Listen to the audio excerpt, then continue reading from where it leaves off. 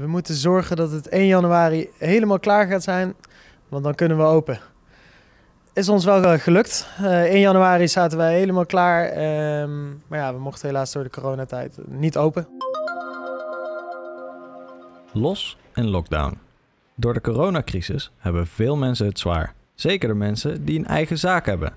Als je een nieuwe onderneming begint in coronatijd, heb je geen recht op steunmaatregelen van de overheid, zoals de tegemoetkoming vaste lasten en de tijdelijke overbruggingsregeling zelfstandig ondernemers. Geen makkelijke taak dus. Toch zijn er jonge ondernemers die dit aandurven. Zo zijn Floyd Schoenaker en Maarten Driessen Eetbar Bloem begonnen aan de Lange Hezelstraat in Nijmegen. Ook al gaat dat nog niet helemaal zoals ze hadden gehoopt. Het gekke aan het, uh, het, hele gebeuren is dat we het nog niet eens weten hoe het is als mensen echt hier uh, komen lunchen of borrelen of dineren. Dus uh, dat is even iets anders gelopen dan dat we gehoopt hadden in het begin natuurlijk. Ja, je voelt je een beetje nu op dit moment als een klein kind die heel graag iets wil wat niet mag. Um, ja, het is gewoon echt wachten, wachten, wachten totdat we weer open mogen. Samen hebben de twee al een andere horecazaak, Eetbar Mikmak aan Kelfkesbos.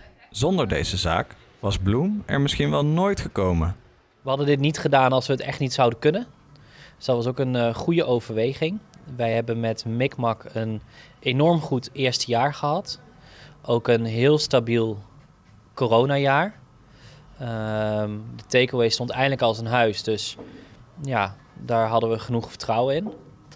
En ja, toen kwam deze locatie. Toen zei mijn compagnon Maarten uh, heel terecht toen wij hier door de straat liepen... van Floyd, als we dit niet doen, dan krijgen we hier zoveel spijt van waarschijnlijk. Want dit is zo'n mooie locatie. En dat was voor ons wel echt de doorslaggevende factor van...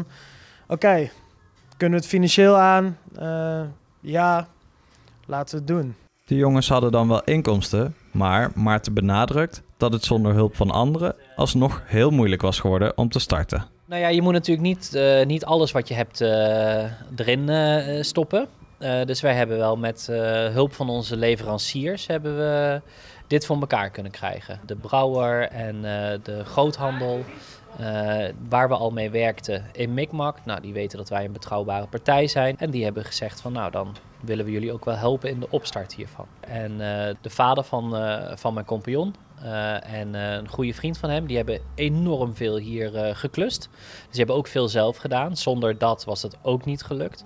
Daar zijn we natuurlijk ook eeuwig dankbaar voor. De twee compagnons verschillen van mening als het aankomt op het geven van een tip aan jonge ondernemers die misschien ook wel voor zichzelf willen beginnen. Geduld, geduld, geduld. Um, het is een hele moeilijke periode voor iedereen. Het biedt ook wel weer kansen. Ehm, andere mensen hebben het misschien weer moeilijk, zodat je misschien toch makkelijker ergens in kan stappen. Als je voor jezelf gaat beginnen, dan doe je dat omdat je heel eigenwijs bent. Blijf eigenwijs. Laat je niks wijs maken. Als jij denkt, dit is het, volhouden.